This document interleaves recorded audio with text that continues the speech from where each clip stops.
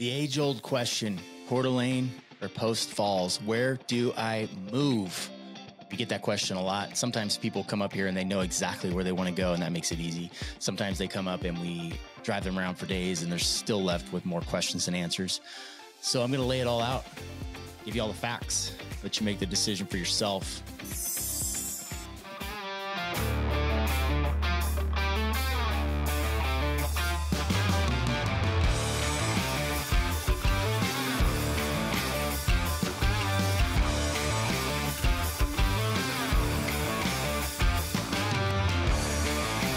Coeur and Post Falls, they border each other. You probably have already looked at a map and you understand that, but they are bordering each other. So downtown to downtown is about 15 minute drive, not far apart. They are very different cities. Coeur d'Alene, as you probably know, is very much a resort city. The downtown is growing. Uh, just saw plans that the Coeur d'Alene Resort is going to expand with another hotel tower that's 15 stories tall right across Sherman Avenue from the current resort area. Now, the resort does an amazing job. Like they run that downtown. Uh, they it's beautiful all year long. Summertime, you have the beautiful red flowers everywhere. wintertime, they replace that, and there's Christmas lights everywhere. I mean, it is like like they do it. So you got to respect that. They help make this town what it is. I don't like these tall towers. That's my personal opinion. Um, there are more and more coming and we're seeing a lot of these taller three four story condominiums and um, apartment buildings coming in too. They look nice. The new architecture does look nice. I'll give them that. Um, but as i said the, the, city is changing. Post falls the downtown looks quite different. They do have an, an older downtown along the uh, Spokane River, so there is some. Obviously, it's not the same water frontage that Coeur has. Coeur did a, a, a phenomenal job at the beginning many, many years ago of building the city around the lake. You're not getting that in Post Falls. There are plenty of waterfront homes in Post Falls on the Spokane River, which comes from Lake Coeur d'Alene. Coeur d'Alene feeds into the Spokane River, and that river heads west towards Spokane. So you can get plenty of waterfront action there, but you don't have the commercial buildup on the waterfront, which is pretty nice there's some stuff that's very close to the waterfront in Post Falls. And there are some great, these like walkable communities similar to Riverstone being put into Post Falls as well. So you have that. And, and, and I think it's cool. However, Post Falls is going to be the biggest city in North Idaho. I'm sure of it. And that's because of geography. They just have more room to expand. Coeur d'Alene, the current area is 16 square miles. Post Falls is 15 square miles currently. Coeur d'Alene is pretty full.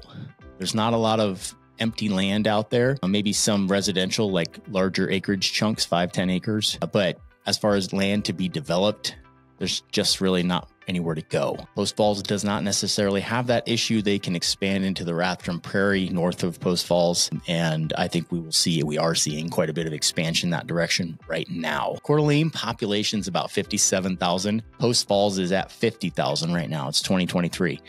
Coeur d'Alene is growing at 2% annually, and Post Falls is growing at 9% annually. So the growth is already there. Um, part of that is housing is cheaper there. There's more room. It's a great place for families, also, just like Coeur d'Alene is too, of course. But I just wanted to kind of show that growth. I, that growth is all going to Post Falls. Yeah, covered that. Moving on. The cost of living, pretty well, income's pretty comparable. Now, you, when you look online, you'll see there's a, a wide range of values on these things when you look up these, uh, like, for example, um, median household income. I saw a wide range. It kind of depends on what, what website you pop to. I tried to pull them off the same website so they're at least comparable. So Coeur median household income is about sixty-five to seventy thousand dollars a year. Post Falls is the same, sixty-five to seventy thousand dollars. Median sale price of homes in Coeur d'Alene is about five hundred and sixty thousand. dollars and Post Falls it's 499. So prices are better in Post Falls, especially like starter homes, uh, single family homes. There's tons of new development there. So there's a more of a surplus of inventory in Post Falls and that's what is helping keep the prices down. So if you are a first time home buyer or a starting out family, that might be the place that you need to go. It's got all the big box stores as well. So you're not really missing out on anything. And like I said, they border each other. So you can't even tell when you cross from one to the other. Goods and services, utilities, homeowners insurance, it's pretty comparable. In a previous video, I talked about Sandpoint versus Coeur d'Alene. And there's enough geographical distance between those two that you can see some differences uh, in those services. But we're talking such a close proximity here that um, a lot of that is really the same. Same with weather. I pulled these off the same website, so they're pretty close. Coeur d'Alene, sunny days on average, 174 sunny days a year. Post Falls, the same. That makes sense. We're literally just 10 miles apart, downtown to downtown. Rain, D'Alene gets about 27 inches of rain a year. Post Falls is sitting at 31. It's probably closer than that, to be honest with you, from what I see. I mean, if that cloud is over us, it's probably over Post Falls too. A snowfall, Coeur sitting at 42 inches. Post Falls is at 40 inches. Once again, it's probably even more comparable than that. Should be pretty similar. Let's talk about median rent price. So Coeur d'Alene apartments on average are renting between 700 and 4500 a month. Obviously that 4500 is a very high end luxury apartment. 700 is going to be either, you know, a studio apartment or a single one bed, one bath apartment. Uh, Post Falls, the range is 850 to 2800. So pretty comparable. Um, surprised I didn't see one in the 700 range in Post Falls as well. I pulled these numbers right off of Zillow. If you go on Zillow, you can look up rentals and home prices too. Generally don't like Zillow, but they're good for that stuff. Home rentals in Coeur d'Alene is uh, they're running from 750 to 6,450. That is for a house. Post Falls homes for rent, uh, 1650 to $6,000 a month. So similar, pretty similar spread on that as well. There are a lot of options um, if you're looking for rentals. Uh, we don't do rentals, but we can point you towards somebody that does if you need that, or you can just look on Zillow, find them yourself. The the good old Google, figure it out. All right, things to do. Once again, we're talking about two towns that border each other, so a lot of this stuff it's not hard to drive 15 minutes to Post Falls and say go to Core Rock Climbing Gym because there is no real rock climbing gym in Coeur d'Alene, but there's one in Post Falls, so you can do that. It's not a hard thing to do, but specifically for each one, Coeur d'Alene has the lake. Lake Coeur d'Alene is obviously right here. So you got the lake life, uh, skiing, hiking, snowboarding, snowmobiling. Coeur has the better downtown, so they got that going for them. Hunting, fishing, uh, community, church, all of that is in Coeur d'Alene as well. Post Falls, they do not have the lake, but they have the river, and the river connects to the lake, so you can boat up the Spokane River into Lake Coeur d'Alene, spend your day there, and then boat back down. Say you're at the marina down in uh, Post Falls or have a house down there, you can totally boat and you can tube and do all that stuff in the river. It's really wide and fairly deep. So it's uh, good for boating as well, swimming, things like that. Uh, Post Falls has parks along the river, Q'emiln Park, um, a couple other ones. I can't remember the name. At Kiwanis Park, there's one. And you can swim right there in the river. And it's a beautiful clear water, just like Coeur d'Alene. So it's great for swimming. So plenty of things to do in both. Uh, Coeur d'Alene's got Tubbs Hill and Canfield Mountain, where you can go outside and hike and walk around. Post Falls has Q'emiln Park, which is actually a very hot destination for rock climbing. I found out last year when I went rock climbing there with group and mountain biking, hiking trails, swimming. So that's a really cool spot. If you haven't checked that out in Q'emiln, uh, in Post Falls, Q'emiln Park, it's on the south side of the river off of Spokane Street. So you take Spokane Street, you can take it from the freeway or through town, cross over the river. Q'emiln Park's right there on your right. Schools. This question we get all the time. If anyone tells you whether a school's good or not and they don't have kids there, even if they do have kids there, everybody has a different opinion. People like things for different reasons. You might like a school because it's got a great sports program, but maybe I don't care about sports. Maybe I'm here for the the music program. It's a really objective question, so it's hard to answer that one and I don't like to answer it. There are lots of good schools here, resources to look at schools. You could check out niche.com. Uh, they usually have reviews on different schools there from the parents that are going there if you reach out and you ask me about a specific school, I probably know somebody that has kids there, so I could probably reach out to them and find that out. But I'm not going to make up a bunch of information here because I don't know. My kids probably don't go to that school. So there you go. I'd like to speak from firsthand experience, and I don't have it. And if anyone tells you that they do, but they don't have kids in that school, I question that. Distance to the airport, Coeur d'Alene is 40 miles to the airport, which equates to about a 40 minute drive, depending on weather and traffic, of course.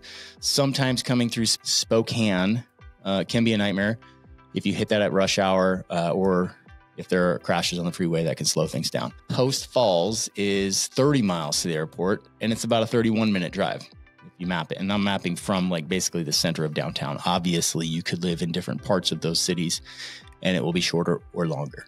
So, either one, that's not a bad drive to an international airport. The airport itself is easy to navigate, never been super busy as I'm flying through there.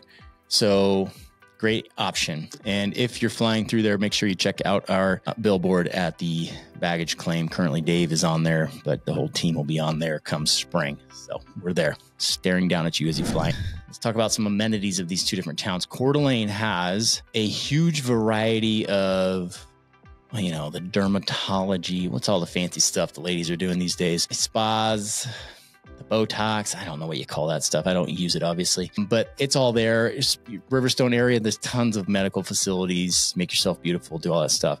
So some people like that. We also have Kootenai Health, which is a level three trauma center. Full disclosure, I don't know what that means, but it's better than the one in Sandpoint, which is a level four. Costco shopping, a variety of restaurants here in Coeur d'Alene. Like I said, medical oh, skincare. That's what I was trying to say at the beginning. So there's a lot of that stuff too.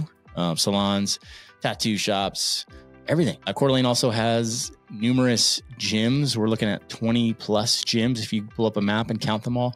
Lots of options, multiple CrossFits, uh, big box gyms. The Kroc Center is one of the best things that Coeur d'Alene has going for it. It's a Salvation Army. Ray Kroc is the guy that uh, started McDonald's, by the way. So there's this huge, huge multi million dollar facility in town that has an indoor rock wall, all the gym equipment, indoor running, walking track, multiple pools, lap pools, and like a basically a water park. Uh, huge gymnasiums. They do lots of classes. They do aquatic classes. So if you're new to town, and you have a small family, it would be a great option for you because they have daycare. Or if you're on the older side and you're looking to connect with other seniors, those aquatics classes seem to be really popular. They always look full when I walk through there. So Kroc Center is a great great option for a gym slash community center here in Coeur d'Alene. Post Falls does not have a hospital like Coeur d'Alene. So Kootenai Health here in Coeur d'Alene is your closest trauma center, but Post Falls is also 10 miles closer to Spokane, which has Sacred Heart Hospital, and that is a level two trauma center. So one level above Coeur d'Alene, whatever that means some nurses out there listening to me and thinking that I'm an idiot. But uh, I'm sure they're both great options if you're injured. But I guess I'd go to Sacred Heart over Kootenai Health because they're level two. Sounds good. Post Falls has shopping, some bigger box stores, cute little downtown, not nearly as big as as uh, Coeur d'Alene, of course, but great restaurants, coffee shops, all that stuff. And another benefit is they're closer to the Washington border, and this is good and bad. One is Washington; we don't like to go over there. But if you jump over to Liberty Lake, which is the first city that you'd hit if you cross over into Washington, that's kind of a cool little town. It's got some stuff going on. There is a lake there. I don't know about public access on that lake. I think there's some, but not a bunch. And some great little restaurants, breweries, stuff like that, right there in Liberty Lake. So that's a cool spot. And you've got Newman Lake, which is to the north of that, another beautiful little lake area. And then you get into Spokane Valley, which is getting to be a bigger city, but has you know, literally anything you could want is there. You'll probably find more of the ethnic foods there. If you're looking some, for some good specific ethnic food, you're going to find it there or into Spokane. Spokane obviously is a big city. I think the population's like four or 500,000, something like that uh, in the greater metro area there. Spokane also, of course, has the problems that come along with a big city homelessness, crime, stuff like that. So stay strapped while you're rolling into Spokane, legally, of course. Politics, that's a good one to talk about. So these are both in Kootenai County. Post Falls and Coeur d'Alene are in the same county. So really the, the politics are very similar. Um, Kootenai County is 27% Democrat, 70% Republican, and 3% independent honestly, that surprises me. Feels like there's a lot more conservative people here. I don't run into many people that are openly liberal. I don't care what your political affiliation is, FYI. Just be a good person. But it can be important when it comes to voting and keeping our cities clean and wonderful the way they are and not turning into Spokane. So, no offense to anyone that lives there, but Idaho is better. Coeur d'Alene has uh, Mayor Jim Hammond, he's a Republican, and Post Falls has Mayor Ronald Jacobson, also a Republican. So, pretty similar on the political spectrum. That, ladies and gentlemen, is it. I have laid out all of the facts that I have for you. So, how do you pick? Which one is better? Well, here's the deal it's up to you. I can give you my opinion, and I will, of course, because I usually do. There's pros and cons to both. And it kind of depends on the lifestyle and the phase of life that you're in right now. If you're starting out, new family, I'm going to edge towards Post Falls simply because prices are cheaper. You're still close to everything. It has pretty much everything Coeur d'Alene has to offer. And when Coeur d'Alene's doing, you know, a cool event, it's a short drive to come park downtown, go to the fireworks show, go to the 4th of July parade, come jump in the lake with us, whatever. It's still a short drive. So I think the home price the home prices being on the lower side than Coeur d'Alene, I think that tips the scale to Post Falls for me if you're in that phase of life. If you're older and you're looking for, say, condominium living, I'd say downtown Coeur d'Alene, especially if you're a snowbird and you're heading south in the winter. I think that would be an awesome lifestyle. No maintenance, live on the uh, 15th floor of the new Thomas George building lake views, all the restaurants accessible. You never even need to drive. You can walk everywhere. That'd be a cool life too. If you're looking for land, Coeur d'Alene and Post Falls both have land just a little bit outside of town. You can find, you know, your five acre chunks and get your peaceful living that way. Prices on those are going to be pretty comparable. And if you're looking for waterfront, they both have waterfront. Post Falls has along the river, and there's some damn nice houses along that river, and you have access to Lake Coeur d'Alene through the river, so that's not a big deal home prices on the lake are to be more expensive. Don't get me wrong, they're still expensive on the river, but on Lake Coeur d'Alene, you're to pay more for that. So, kind of depends on what phase of life you're in. I think I laid it out pretty good. I live in Coeur d'Alene, if that means anything to you. But probably the best thing to do if you're still up in the air about it is to call me, text me, or email me. And one of us on our team will connect with you Eric is a current law enforcement officer in this area, and that's a huge benefit to people that have questions specific to crime, because that is another question we get a lot. What's the crime like up there? Well, if you want to know that, we can put you in touch with somebody that knows it very, very well, so we can get that that question answered for you. And uh, that covers it, folks. Thank you very much. Remember, if you're looking to move right now or 12 months from now, give us a holler. We would love to help you make that smooth move right here to North Idaho.